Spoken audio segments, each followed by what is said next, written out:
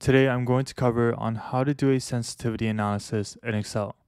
I'm going to be going through two different methods. The first method being the most basic one where you're analyzing up to two variables and another method in which we analyze multiple variables by setting up our own custom template sheet.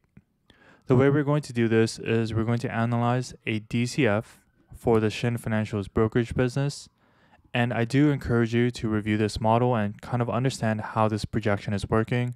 But for our sake, we're going to dive right into the sensitivity analysis. The whole objective is to assess which variable is the internal rate of return the most sensitive to between the four variables of commission, annual trade volume, the growth rate and trade volumes, and lastly, the trading cost. The very first step that you need to do is that your input values and your output values which is the DCF and the IRR, are all on the same sheet. Otherwise, the function that we want to use cannot process. Now, there are ways to work around this and take a longer route. However, the most efficient way to do this is to make sure that your inputs and your outputs are all within the same sheet. So when we set up the template, what we want to do is first reference the output, which is the IRR, and then we mm-hmm. want to set up the inputs that we want to test the sensitivity for. As I've mentioned, it only goes up to two variables, so we're going to start with commissions and then annual trade volume. So we first want to bring in commissions here and then the annual trade volume. The way we want to assess the sensitivity is to see how our IRR changes based on a 1% increase and Once you have this template set up, what you want to do is go into the data tab and then click what if analysis and then click data table. You will now have two inputs to specify, the first one being your row, which is your horizontal values, and then your columns, which are your vertical values. So for the row input cell, which is the 295 all the way to 310, I'm going to click in the commissions and then for the column input, which is the annual trade volume, I'm going to click the 500,000. It's important that you actually reference the cell that is being used to drive these models because Excel will understand the relationship between your output, which is your IRR, and the input that you're assessing.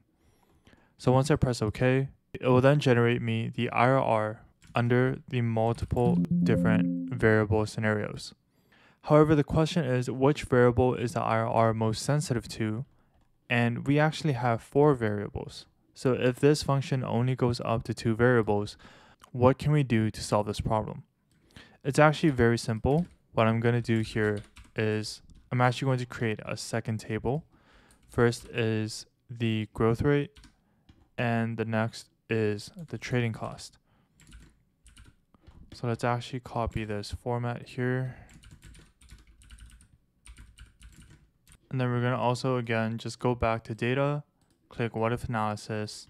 And this time our row input is going to be the growth rate. And then our column input is going to be the trading cost. And once I press OK, we now have the IRR outputs. However, we still have to assess which variable is the IRR most sensitive to. In order to assess this, I'm going to add some rows. And first, bring in the variables that I'm going to work with, which is this section over here.